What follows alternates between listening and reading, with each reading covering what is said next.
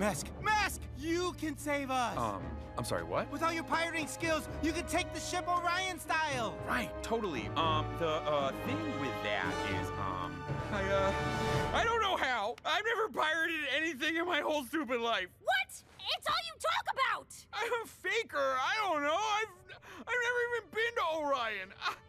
I, I'm from Cincinnati. What? Are you freaking serious? Cincinnati? I got adopted by humans, and everything I know about Orions I learned from the holonovels. I have bad ones, too. The ones with the boobs on the cover. Why would you lie? Well, people just expect Orions to act like that, so it's always worked for me. I never knew any other Orions back in Ohio, so no one ever checked me on it.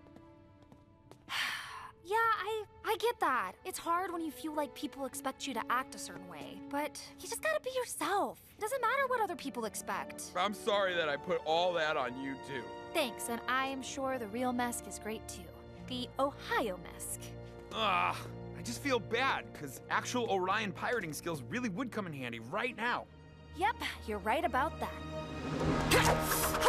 Whoa, what the? If there's one thing my father taught me, it's that every ship has a security failsafe. Your family's Orion pirates?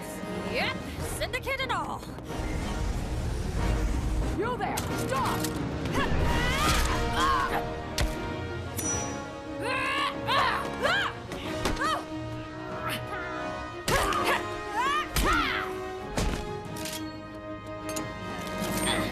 Wait a minute, wait a minute. That thing has a tooth remover?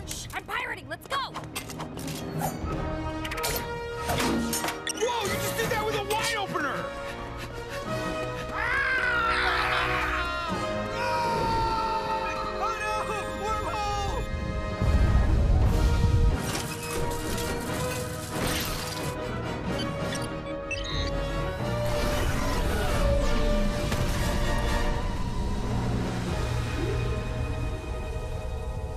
Stopped us? How? I used the latinum from the guy's tooth to magnetically decouple the propulsion controls. You took the ship. You took the ship! Ugh, my folks would be so proud. But this is only a temporary fix. In a couple of hours, the Karemma are gonna figure out what I did, and when they do, whoa! We're in a tractor beam! Haha, we're safe!